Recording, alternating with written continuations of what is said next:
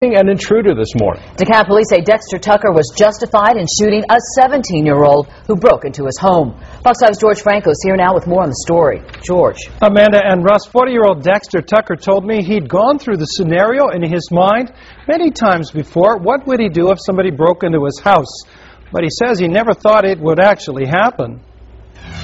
This is the way they came in. That's a bullet hole right there. He came in this way. He kicked the door. You can see where he kicked it in.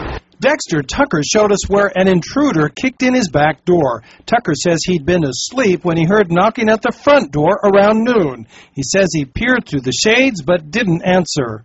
So then I got back in the bed. So then he started beating on the door. Boo, boo, boo. Then Tucker says he saw a young man run to the back door and that's when he grabbed his gun. I couldn't believe he was kicking in my door. And it took him like four kicks to get in.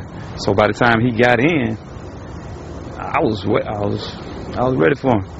Tucker says he shot the intruder three times, striking him once in the thigh. He says he then saw another young man running away. Across the street, neighbor Vermail Harris says she saw someone running away and getting into a car down the road. He ended up hopping in a car, so I gave him the description of the vehicle that he got in, and they found him later. Police say they arrested a 17-year-old male and a 17-year-old girl in a stolen car not far away. Police say the second suspect ran to this location about three blocks from Dexter Tucker's home, then jumped over that fence. Then tried to hide from police behind this unattached part of the fence. Authorities say the teenager was arrested after a contractor working on wires led police to the backyard. The three teens involved face burglary and other charges. Police say Dexter Tucker rightfully defended his home. It's senseless. I mean, you coming in my house, I mean, I was scared. So I just did what anybody else would do.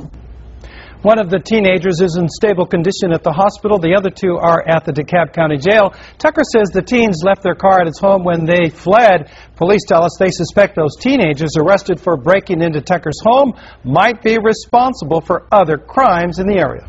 Well, you know, anybody would be scared, and it probably served Mr. Tucker well that he'd gone over this in his mind ahead of time. Did he have that gun specifically for protection? He told us he's got a wife and two children, so he said he got the gun really for his wife and for his kids, but he said he'd been through that scenario many times before. Mm -hmm. He just thought, I hope I never have to go through it, and he did have to go through it.